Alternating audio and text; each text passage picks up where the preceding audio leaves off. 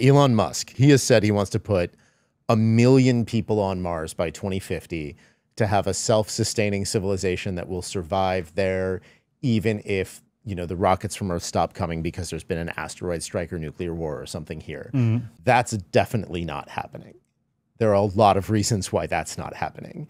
Getting anyone to mars by 2050 and bringing them back alive or just having them live there for a while that would be incredibly difficult just learning how to keep someone alive in deep space that far away from earth for as long as it takes to get to mars stay on mars come back we do not know how to do that yet Is it radiation or? yeah, there's radiation.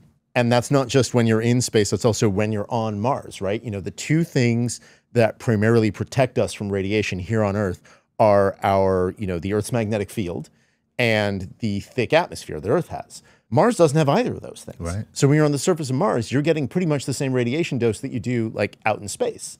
And that's not good right? You know, like the thing that I tell people is the movie The Martian is science fiction. One of the things that's science fiction about it is if Mark Watney really, you know, had to do all the stuff that he did in that movie, he'd come home and he'd be dead of cancer in a couple of years because he had too much radiation exposure hanging out on Mars. Hmm. Hmm.